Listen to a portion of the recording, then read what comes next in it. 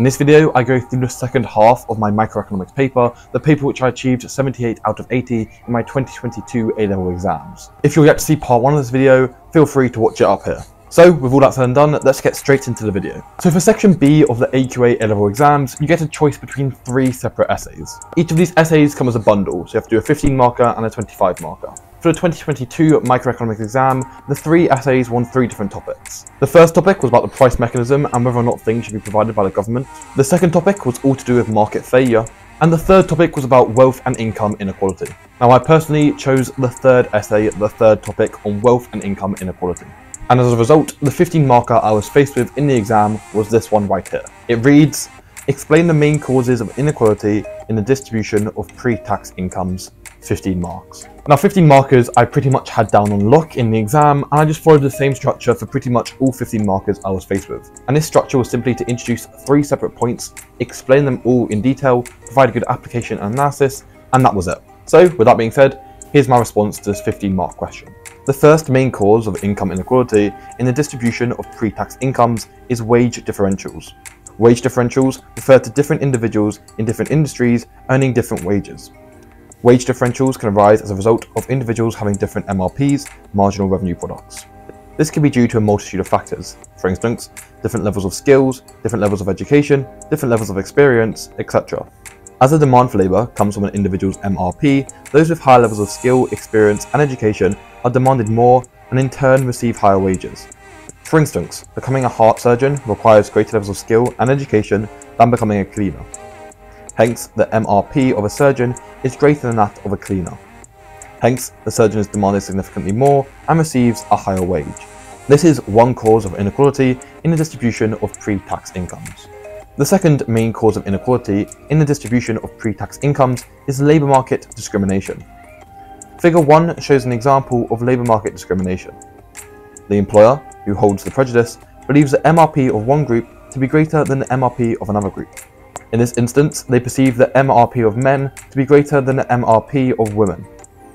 This therefore leads them demanding more male employees than female employees and paying men a higher wage than women seen on figure 1 by the fact that WM is greater than WW and QM is greater than QW. This would also cause inequality in the distribution of pre-tax incomes. Thirdly, age could be a potential cause of inequality in the distribution of pre-tax incomes. The first reason for this is due to older individuals having been in the labour force for a longer duration of time. Hence, they have developed more skills and experience in their respective industry. As a result, it would be expected that they have a greater MRP than younger individuals. As a result, they are more likely to receive a higher wage rate, leading to inequality in the distribution of pre-tax income. Moreover, it may be possible that younger individuals are negatively discriminated against, and hence the perceived MRP of older individuals is greater than it actually is in reality, thus meaning the wage rate of older individuals is greater, leading to further pre-tax income inequality. And that's really as simple as all my 15 mark responses were. Three separate points, all well explained and all developed sufficiently. As you can see, the examiner left a comment on my response. They said, valid issues with sound knowledge, good application of economic concepts, and clear logical chains of reasoning. And that is genuinely all you need to do to get 15 out of 15 on these AQA A-level 15 markers. By the way, although that was a 15 out of 15 response, it does not mean therefore that the response was perfect. As a matter of fact, it was far from it. I could have developed my points a bit more, I could have explained things a bit more concisely, etc. The whole point of exams as a whole is that you don't need to be perfect, all you need to do is be good enough to get those full marks or those marks you want to achieve. With all that done, let's move on to the 25 marker for this part of the exam. The question reads, evaluate whether the best way to reduce inequality in disposable income is to reduce differences in pre-tax incomes rather than through taxes and welfare benefits. So here's my response to that 25 mark question. Reducing differences in pre-tax incomes refers to measures such as reducing wage differentials and labour market discrimination. Reducing inequality through taxes and welfare payments refers to a more progressive taxation system and a larger financial cost to the government. This essay will argue that reducing differences in pre-tax incomes is more effective as it does not distort incentives and allows individuals and households to work for their wage. And if you've seen part one of this video or any other video I've really done on these 25 markers or these A-level economics essays, you can see it's pretty much the exact same introduction structure as I use throughout everything I do. The only difference here is that I don't really do any definitions as the essay doesn't really call for you to define anything. But what I do is I introduce my points, I frame the essay, and then I say what the essay will argue. Moving on to that first paragraph. One way that inequality could be reduced via reducing differences in pre-tax incomes could be via the government providing education and training schemes. This would give individuals in the labour force an opportunity to improve their skills and education. As a result, it is likely to increase the productivity of workers, which in turn will improve workers' MRP. As the demand for labour is derived from an individual's MRP, this policy would increase the demand for workers who have attended and benefited from such schemes. As a result, the wage rate would increase and the quantity of workers employed would increase. This would lower the gap between high income and low income workers, hence reducing differences in pre-tax incomes. Another measure that could be used to reduce differences in pre-tax incomes would be policies to reduce labour force discrimination. A short-term solution would be implementing quotas, which has been done in Sweden. These quotas mean that a company has to employ a certain number of individuals from a certain group in a certain position. For example, a certain number of women need to be employed in managerial positions. This would help increase the income of women and hence also reduce the income inequality. A long-term solution would be changing social norms within the work environment. For instance, if more women became CEOs of FTSE 100 companies, this could change the opinions and norms of other companies, who may then let go of their prejudices and discrimination. However, both of these policies may be limited in terms of how effective they are. Firstly, there is a large financial and opportunity and cost incurred to the government for providing education and training schemes. It could be argued that there were better uses for government time and money. Moreover, Quotas in the labour force can lead to an inefficient allocation of resources, as it could result in individuals being placed in roles they are not qualified for. It could also result in individuals missing out on positions they are qualified for. In addition to this, there is no guarantee that low income and low MRP workers will attend the schemes provided for them. For instance, it may be that they are not incentivized to increase their MRP due to bounded rationality and hyperbolic discounting. Combat this, the government can make attendance to education and training schemes mandatory. However, individuals may feel as if this invokes on their personal freedom and liberty, hence this is not likely to be effective. So I've done my point about reducing pre-tax incomes through either labour market discrimination and also increasing people's MRPs, and I now go on to talk about other ways to reduce income inequality, i.e. through the taxes and welfare payments they talk about in the question itself. Alternatively, reducing income inequality would be achieved through a new, more progressive taxation system. For instance, a taxation system that increases the tax rate for the top bands and reduces the tax-free income, e.g. from £12,500 to £15,000. This way, the government will still receive the same or similar amounts in tax revenue, but the disposable income of low-income groups and households would increase. However, this policy may not be as effective as first seemed.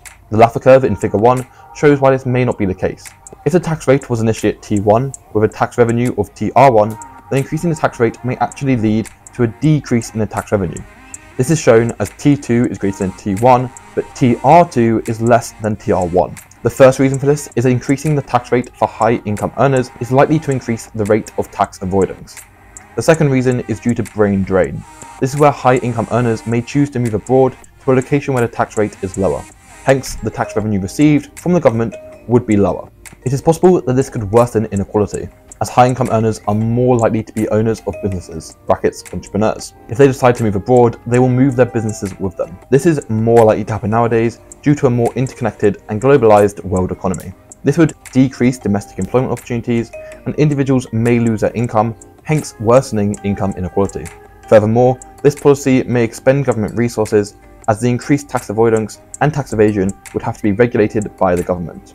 Income inequality could be reduced by increasing welfare payments. These refer to payments received by low-income groups directly from the government. However, welfare payments have also a large financial and opportunity cost to the government, as the money used could have gone elsewhere. In addition to this, it could be argued that increased welfare payments would distort incentives. Individuals and households may no longer have the incentive to improve their MRP and seek a higher wage as they become dependent on the welfare payments. Reducing differences in pre-tax incomes is likely to be more effective in the long run than taxes and welfare payments. This is because training schemes allow individuals to increase their MRP, which will increase their wage. For instance, if a different political party were to be elected, the taxation and welfare payment schemes may be eradicated slash altered and inequality could return to what it was originally. However, if there was a change in political party or unexpected economic shock, those who have developed their skills, hence improving their MRPs, will still be earning a higher wage and have a larger disposable income. In addition to this, policies to reduce differences in pre-tax incomes may be more effective as they are more equitable and hence also more direct.